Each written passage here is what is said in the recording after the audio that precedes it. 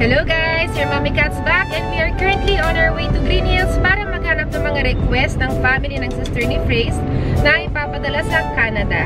Then later, maghahanap din kami ng makakainan ng lunch. It's also a special day today kasi it's our 9th anniversary! Happy anniversary! So, saan niyo gustong kumain mamaya? So, kung ano na lang makita natin, no? Parang gusto ko ng ramen. Okay, so, I'll see you guys later pag nasa Green Hills na kami. So guys, nandito na tayo sa Green Hills Shopsville and pupunta tayo dito sa may Regina o Regina na may mga available na toys, candies. Ito yun. Yan, so dyan makakabili kayo ng mga stickers, toys, at saka mga candies. Papakita ko sa inyo kung ano meron sa loob.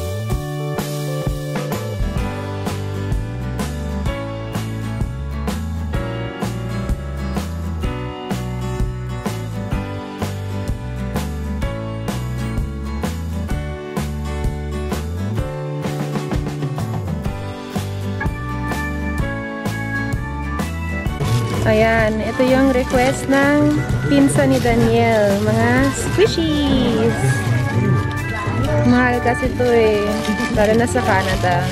Ang alam ko mahal. Dito mura lang guys. Can you show them?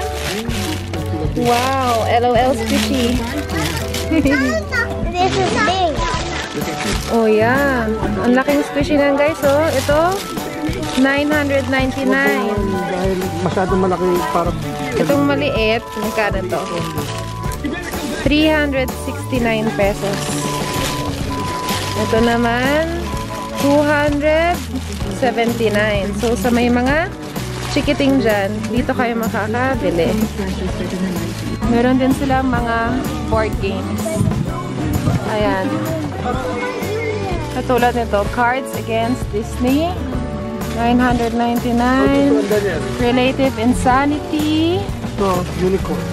Ayan. Cards Against Humanity. 595 per set. Ayan, marami silang stuff dito, guys. O, pakita mo sa kanila yung giant strawberry squishy. It's even bigger than your head, Daniel. How much is it? 999 pesos. Malaki siya, guys. Oh, oh ang cute naman. Sino na yan? It's Groot. Anong ano? Magkano yan? Hello. 299. Ano yan? Wala, ano lang? Display? Mm, ganda. Ang cute. Dito naman ang stationery station nila. Ayan. Meron sila mga stickers. Ano yan? Know, but it's okay. Ayan. May mga ball pens. Katulad niyan, 69 pesos yung isang pack ng unicorn. Ayan. May mga unicorn pens. At marami silang klaseng mga notepads, notebooks, planners.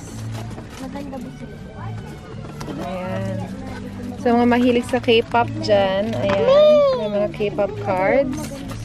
These are black pink. Yes. Tapos, yan yung mga small pads nila. Ang kikit na mga stuff nila dito, guys. Pag nasa area kayo, punta kayo dito. This is sharpener. May mga erasers sila, oh, like this one. Donuts. Ang cute.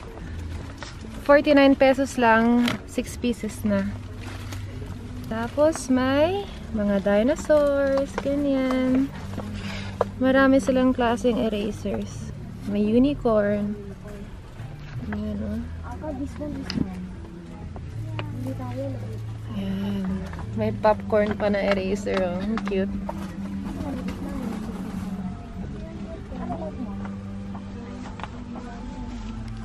What's that, Daniel? Pen. It's a unicorn pen. Parang unicorn yung colors na eh. Na furry, no? Furry siya. Oh, you ask your daddy. Show you sa mga mahilig mag scrapbooking. Ito, oh. Meron sila mga washi tape dito. Gaganda ng design. 29 pesos lang isa. These are cute. Ayan, meron din silang mga sets. Ayan, katulad nito. Magkano ba to? 139 pesos lang.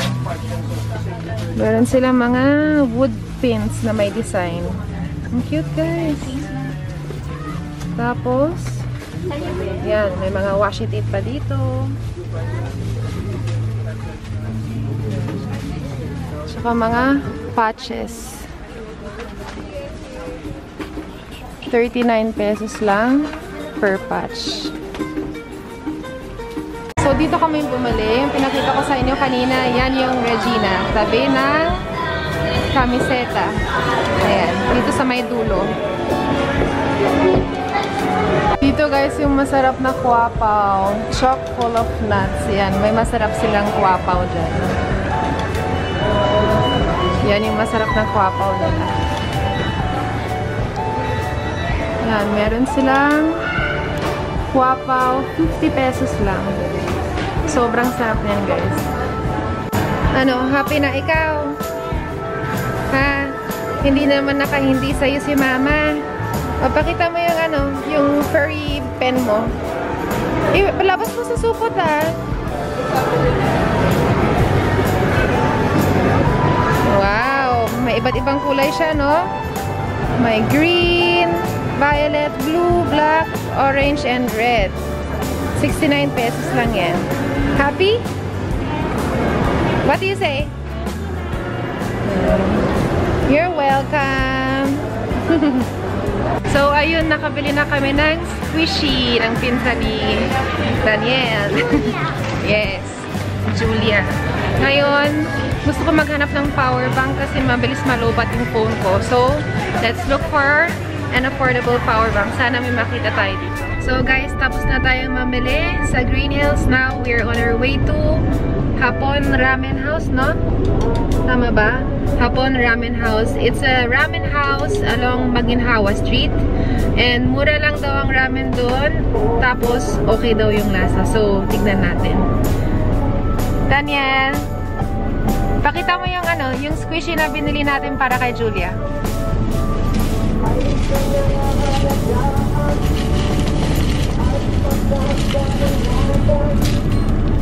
Ayan, yan yung squishy na binili para sa pinsa ni Daniel. 289 pesos lang to. Malaki na rin. Bigger than my hand.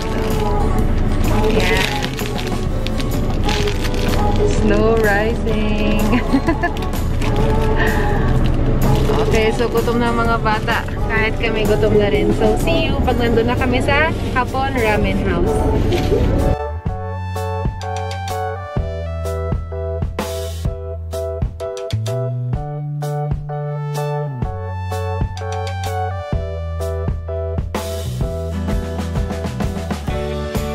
Okay guys, so nandito tayo sa Hapon Ramen House. Ganyan ang itsura na sa labas. Along Maginhawa Street lang ito guys ha. Okay, so pasok na tayo.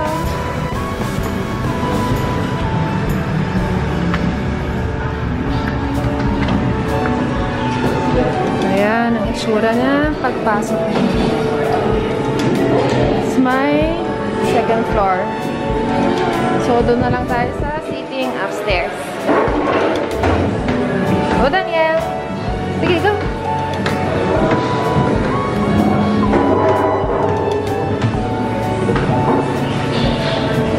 Ayan. Ganito ang itsura dito sa taas. Ang galing guys, oh. Meron silang patungan ng chopsticks. Ayan. So, ito ang menu nila.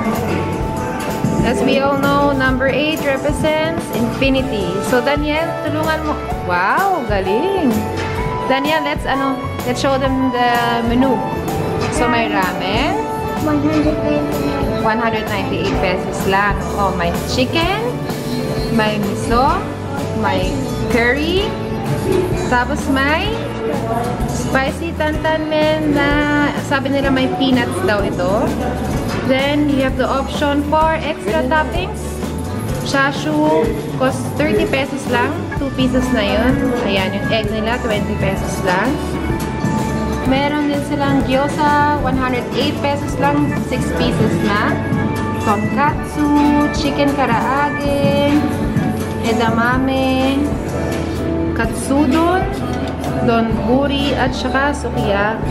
Sukiyaki doon, 168 pesos lang. Tapos, meron silang tatlong klase ng rice. Chahan, curry chahan, at saka white rice. May katsu curry din sila, 198 pesos.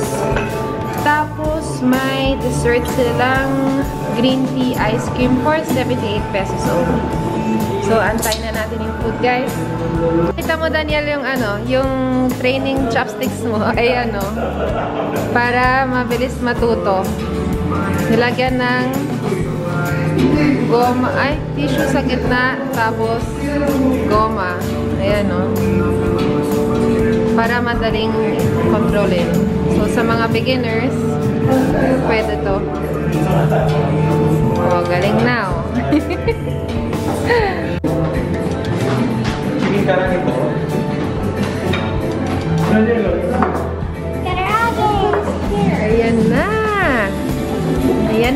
Daniel. Chicken karaage with white rice at gyoza. Isa sa isig ko. Isa sa isig. Wala sa Anong para sa Ang dilim against the light eh. Tapos yun yung medyo mga... Ano ba yan? Curry. Mm. Curry. Chicken python. Na yan na ang curry ramen. Spicy miso. Ayan. Ito, spicy miso.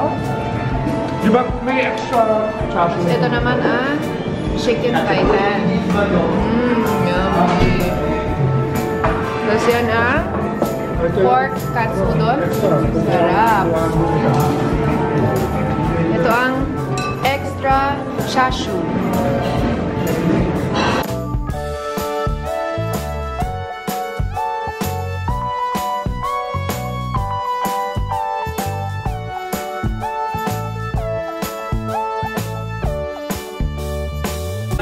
Naubos na ni Dale ang katsudon. Ito naman ang pangalawang order niya. Suki, ano to? Suki... Sukiyaki don. Ayan.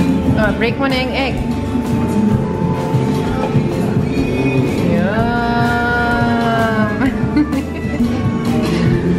okay, good appetit. Oh, si Daniel, naubos na rin niya yung curry ramen. You like it? She liked the ramen better than her chicken karaage. Ito naman yung edamame, guys. So, first time ko makakakain ito.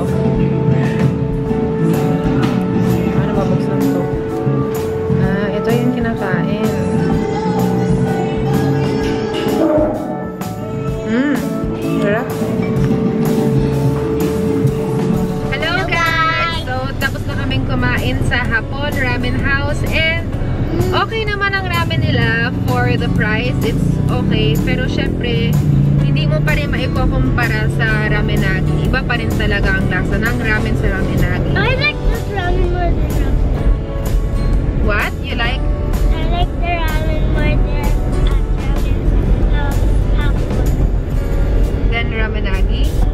Kasi because when we were at ramenagi, you never tried the ano doon, the ramen nung kumakain tayo doon.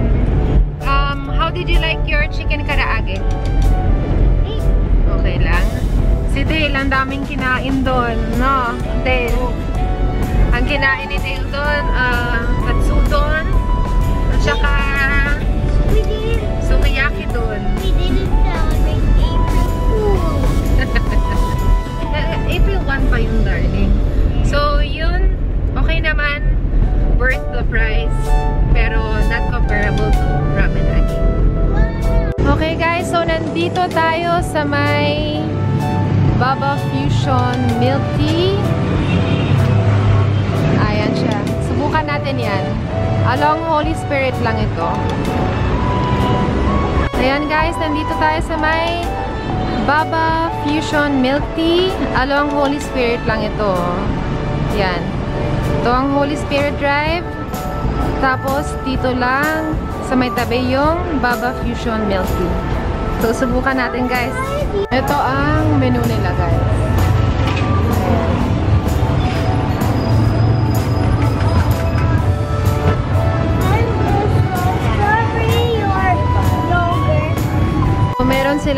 Waiting area dito guys. Or pwede rin kayong tumambay dito.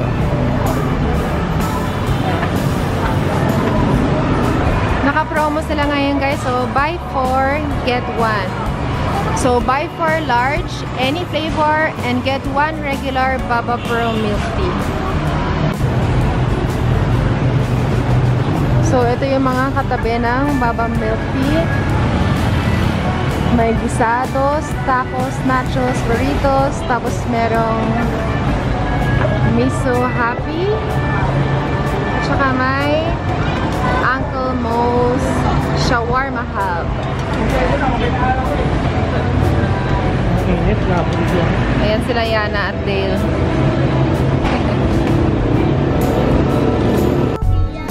So guys, nandito na ang milk tea na in-order namin from Baba Fusion. So yung akin, ano siya, um, matcha with cream cheese, tapos may pudding and black pearls. Tapos kay Daniel naman, strawberry yogurt. Tapos kay Phrase naman, nakita mo yun sa'yo. Ano yan, Baba Fusion milk tea with pearls. Tapos same yung ano sa'yo, anak? Baba Pearl Milk Tea, no? Tapos kay Dale, same with his daddy. Yes. Okay, so, time to tikim-tikim. Pengen namang straw. Paano naman ang straw, please? I wanna try mine. Ah.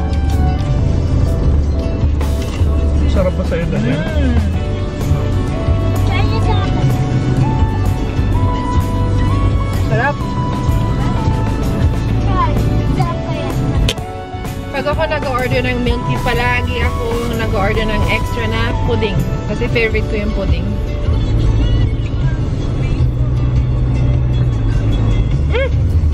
Mm. And we're home. Sobrang init lately, guys, no? Grabe, ibang klase yung init. Parang konting galaw pa lang. Pawis na pawis ka na, Diyos ko. Anyway, sana nag-enjoy kayo sa pagsama sa amin sa araw na ito. If you did, please don't forget to thumbs up, comment down below, and subscribe to our channel. This is your Mommy Cat. Now signing off. Till our next one.